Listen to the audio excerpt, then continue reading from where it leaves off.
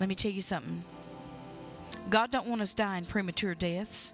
He's called every one of us into his kingdom to do something for him. He don't want us to leave this world prematurely and not finish out the commission that he's given us.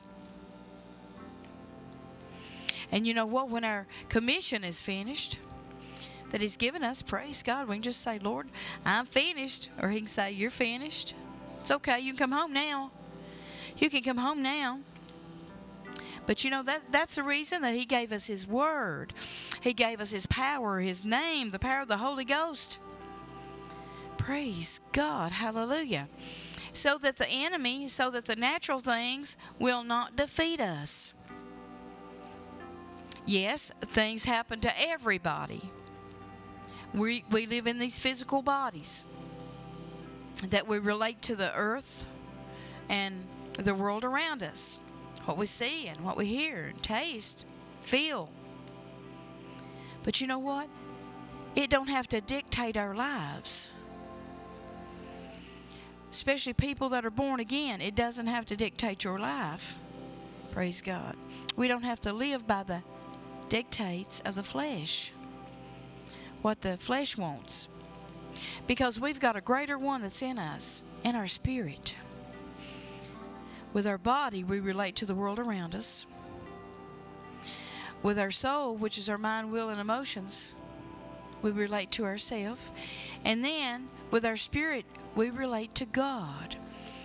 And the way He wants us to be, we're a tripart being, we're three parts spirit, soul, and body. A lot of people are still living in the soulish realm. They think all they have is a soul and a body.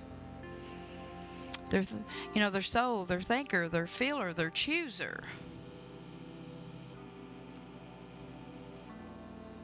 Their emotions.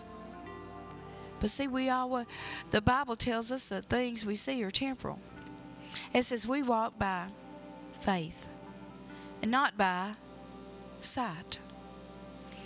We don't walk by what we see or what we feel in this world around us because everything is temporal and subject to change. Everything in this world, everything in the natural can be changed by the Word of God, by the supernatural Word of God. It can change any circumstances. If you've got a disease and it's a life threatening disease, the Word of God can change that. But you have to have it in you. You can't wait till you get on your deathbed and start trying to believe and believe and believe and believe, although some people do. They tap into it. But I, I tell you what though, it's it's hard when the when somebody's got you down with their foot on your neck and they're weighing three or four hundred pound and you might weigh eighty pound. It's hard to move. It's hard to believe when the doctor says, There's no hope, there's nothing else we can do. Don't wait till that time. Pick the Word of God up now and start reading it. Start believing what Jesus said, what my husband preached. Take Jesus at His word.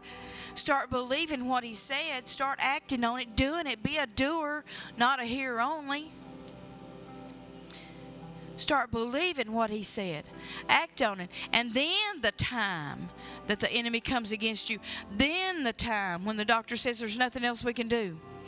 You get a bad report, say, Oh no. Oh no, I know that Jesus bore the stripes on his back for my healing, and I don't have to bear this disease. I thank God that by his stripes I am healed. And start walking in that and standing on that and and you watch that sickness and d- disease disappear. It has to bow to the name of Jesus and the word of God. It has to. It has no choice. But don't wait till it happens and then try to have the faith to overcome because I'll tell you what if you don't have long because it takes time it takes time because faith comes by hearing and hearing and hearing and hearing and hearing and hearing. Plural. Faith comes that way.